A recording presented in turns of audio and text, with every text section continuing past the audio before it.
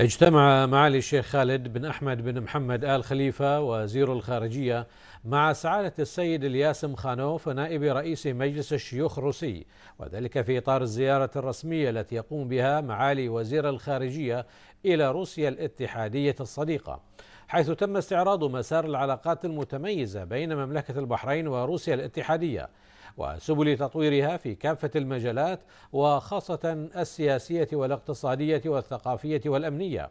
إضافة إلى تطورات ومستجدات الأوضاع على الساحتين الإقليمية والدولية والقضايا ذات الاهتمام المشترك. وقد أعرب معالي وزير الخارجية عن اعتزازه وتقديره للعلاقات الوثيقة التي تربط بين مملكة البحرين وروسيا الاتحادية مؤكدا حرص المملكة على تعزيز وتوطيد هذه العلاقات بما يعود بالخير والمنفعة على البلدين والشعبين الصديقين مشيرا إلى أهمية الزيارات المتبادلة بين مسؤولي البلدين في فتح مجالات أرحب للتعاون وتعزيز المصالح المشتركة للبلدين الصديقين. من جانبه أثنى معالي السيد إلياس أمخانوف على حضرة صاحب الجلالة الملك حمد بن عيسى الخليفة أهل البلاد المفدى حفظه الله ورعاه وحرص جلالته على تعزيز علاقات مملكة البحرين مع روسيا الاتحادية مشيدا بالدور المهم الذي تقوم به المملكة على الصعيدين الإقليمي والدولي مؤكدا دعم روسيا الاتحادية لمملكة البحرين في مختلف المواقف وحرصها على تطوير مجالات التعاون المشترك والارتقاء بها لآفاق أوسع منوها بالنموذج الديمقراطي لمملكة البحرين ومستذكرا زيارته للمملكة متمنيا للبحرين ملكا وحكومة وشعبا المزيد من الرخاء والازدهار.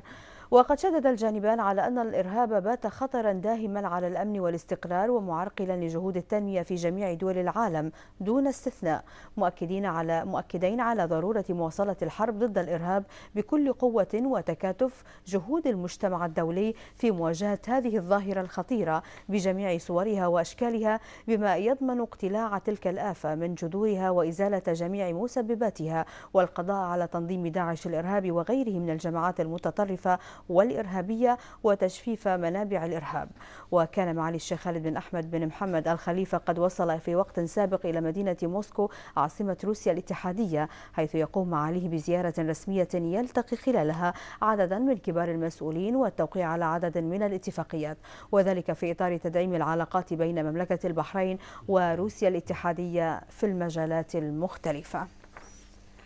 هذا وقد نقل معالي الشيخ خالد بن أحمد بن محمد الخليفة وزير الخارجية خالص تحيات حضرة جلالة الملك حمد بن عيسى الخليفة عاهل البلاد المفدى حفظه الله ورعاه إلى المعتمد البطريقي للكنيسة الأنطاكية في موسكو وسائر روسيا الاتحادية المطران نيفون سقيلي. وقد قرعت أجراس الكنيسة لدى وصول معالي الشيخ خالد بن أحمد بن محمد الخليفة للكنيسة الأنطاكية في موسكو وذلك حبا وتقديرا لحضرة صاحب الجلالة الملك حمد بن عيسى الخليفة حيث أكد المطران نيفون سيق العراقي مدى حبه وتقديره لجلالته ودعوته لجلالته بموفور الصحة والعافية. وخلال اجتماع معالي وزير الخارجية مع المطران نيفون صيقلي أشار المطران إلى أن مملكة البحرين في ظل قيادة جلالة الملك حمد بن عيسى الخليفة تجسد نموذجا حضاريا رائدا في التآلف المجتمعي والتسامح الديني والتعايش السلمي بين أتباع مختلف الأديان والمذاهب والثقافات. منوها بالرعاية الفائقة التي يوليها جلالته لحقوق الإنسان وللحريات الدينية وحرية الرأي والتعبير منوها بحرية ممارسة الشعائر الدينية منذ القدم في مملكة البحرين ما جعلها مثالا للانفتاح على مختلف الحضارات والثقافات. من جانبه أعرب معالي الشيخ خالد بن أحمد بن محمد آل خليفة عن خالص تقديره واعتزازه بالمشاعر الطيبة الصادقة للمطران صقلي تجاه عاهل البلاد المفدى وشعب البحرين مؤكدا التزام المملكة بتوطيد أواصر التعاون والصداقة بين مختلف الشعوب والأمم في إطار الاحترام المتبادل ونبذ التطرف والعنف بكافة أشكاله. وطلب المطران نيفين صقلي نقل خالص تحياته لعاهل البلاد المفدى ودعواته لجلالته ولشعب البحرين الصديق وتمنياته له بدوام الأمن والتقدم والازدهار.